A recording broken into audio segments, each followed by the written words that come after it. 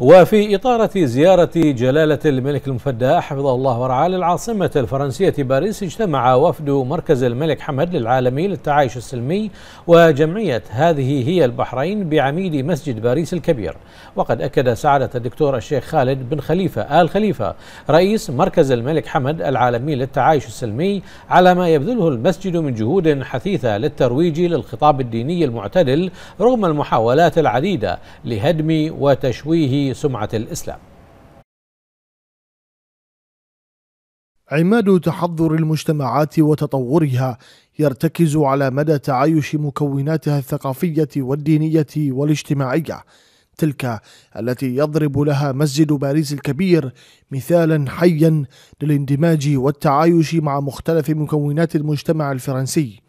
وهو ما حضر وفد مركز الملك حمد العالمي للتعايش السلمي وجمعية هذه هي البحرين للاطلاع عليه وذلك لما يقوم به المسجد من جهود حثيثة تتسق مع ما تعمل مملكة البحرين على تحقيقه في مجال التعايش السلمي والتسامح.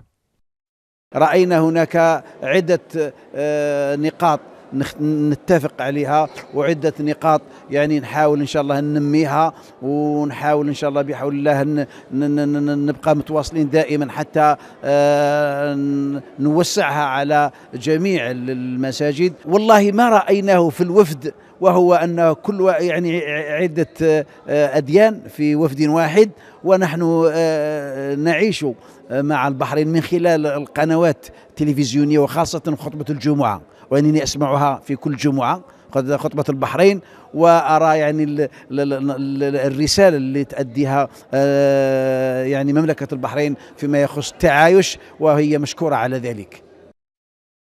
القائمون على مسجد باريس الكبير ثمنوا زيارة الوفد البحريني الذي ترأسه سعادة الشيخ الدكتور خالد بن خليفة الخليفة الذي استعرض أمامهم تجربة مملكة البحرين في مجال التعايش والتعددية التي تنعم بها المملكة بحضور ممثلين عن مختلف الأديان والطوائف داخل البحرين.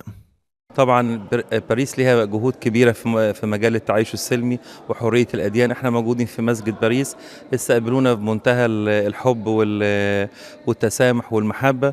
وطبعا إحنا نقلنا لهم الصورة الحية اللي إحنا عايشينها في البحرين.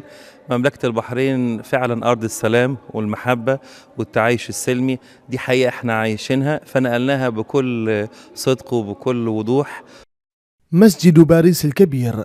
هذه المؤسسة الدينية الهامة في فرنسا يلعب دورا محوريا في نشر ثقافة التعايش بين مكونات المجتمع الفرنسي المتعددة وذلك من خلال استضافته للزوار والسياح من مختلف مشارب الأرض وتعريفهم على سماحة الدين الإسلامي وما يحمله من مبادئ راسخة. ترفض التطرف والعزلة وتدعو للتعايش والتسامح وقبول الآخر. مسجد باريس الكبير. أول مسجد بني في فرنسا عام 1926 للميلاد وهو الأكبر في العاصمة. بنته الدولة الفرنسية ليكون معلما سياحيا وإسلاميا وحضاريا هاما على الطراز الإسلامي القديم. يستقطب آلاف الزوار والسياح والمصلين من مختلف الدول والمناطق داخل وخارج فرنسا. القائمون على هذا المسجد يتفاعلون بشكل كبير جدا مع المجتمع الفرنسي ليرسموا بذلك صورة حضارية عن التعايش والتفاهم بين مختلف الأديان والثقافات. من العاصمة الفرنسية باريس يحيى العمري لمركز الأخبار تلفزيون البحرين.